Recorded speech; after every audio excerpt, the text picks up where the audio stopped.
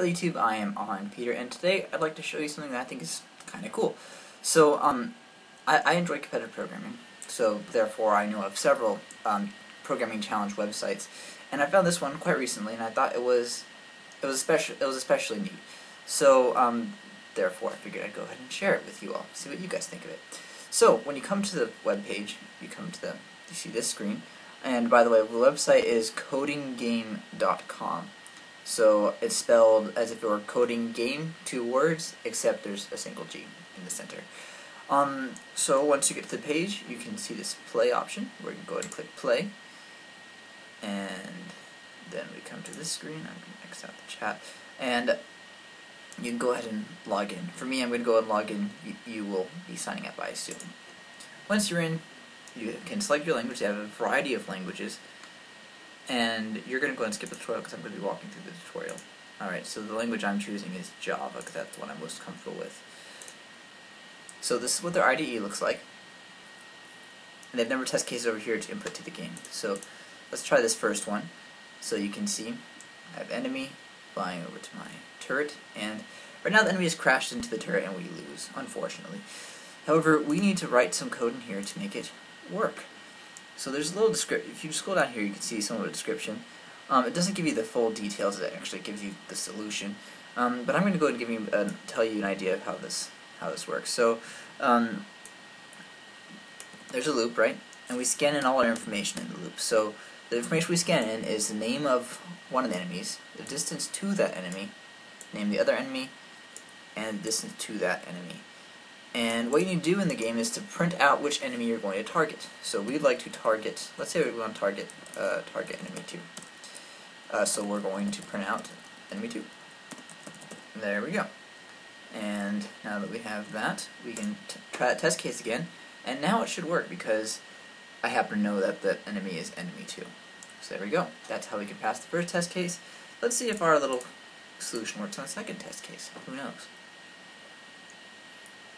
Mm -hmm. No, it does not. So, um, it only shot the ones classified as enemy 2, and but not the ones classified as enemy 1. So, we have to really use this distance to solve the problem. And as I said earlier, it, we it gives the pseudocode for, for the solution over here. So we'll go and write that out.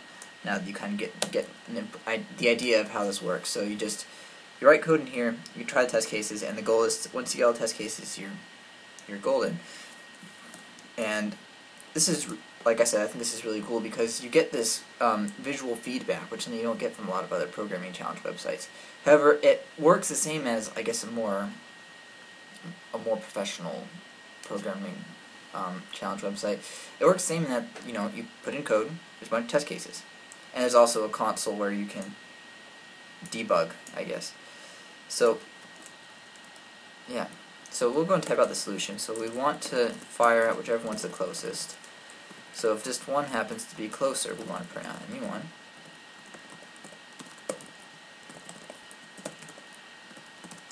And if enemy 2 happens to be closer, print out enemy 2. And there we go. Now I'm going to go ahead and hit play all test case and see if it works. Mm -hmm. So first test case, yeah, that works. Second test case, yeah, that worked. And third test case, yes, it worked.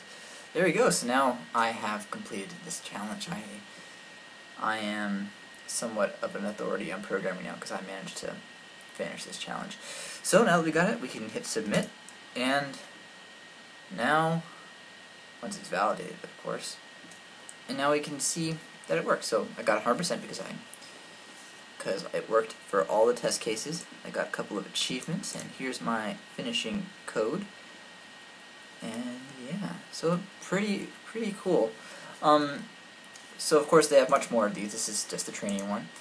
Um, if, you click, if you click games and then view games over here under single player, you can see all different challenges you have, and it's very good practice to go through and try and solve as many as possible. Um, yeah, so I, you see I've I've done a couple see I've done a couple. So, and I also have my profile, which I'm very proud of. I am, I've reached mentor status. And never, so. It's pretty cool. It's, what's my public profile like? Yeah, it's a public profile. So yeah, I would think it would be really neat if some of you guys could go and join this website and try and solve code problems of your own.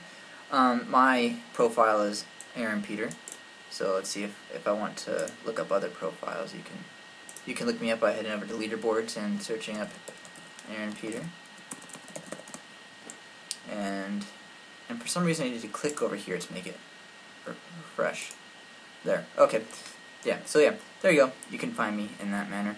And um, let me know if you guys decide to sign up. I'd like um, and and you can put your usernames down in the comments so that way I can compete with you guys and see if I can maintain a higher level. That would, I think that'll be fun. Um, so yeah, thank you for watching. Please check this out. I think it's a pretty cool, a pretty cool idea. And um, I look forward to seeing you guys next time in another tutorial.